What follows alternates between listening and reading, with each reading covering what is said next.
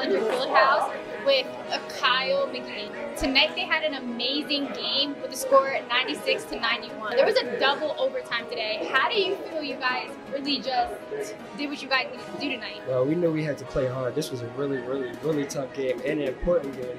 This actually had us tied for first place now. So, uh, yeah, it was a really tough game. We knew we had to play hard. It was a real physical game. Everybody's beat up, as you can see. Everybody's walking around limping. So, we got game today one player from the WCU basketball men's team, other player from the Millersville team got injured. Yeah, how do you feel the team did with you being out for those couple minutes? Um, I was out about two minutes. Uh, I didn't see, I actually wasn't able to watch the game. I was over there getting treatment. When I went out, I think we were up one, and when I came back in, we were still up one, so uh, or, or tied. So it was good that we were able to keep the game close while I was out.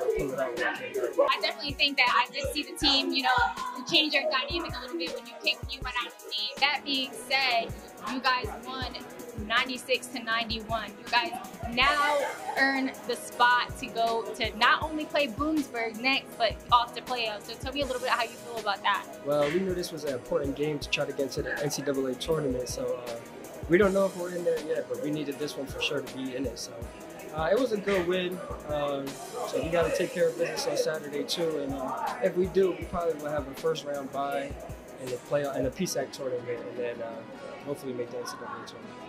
Thank you so much, Kyle. I wish you guys the best of luck Saturday as you guys play against Bloomsburg. And that's a wrap.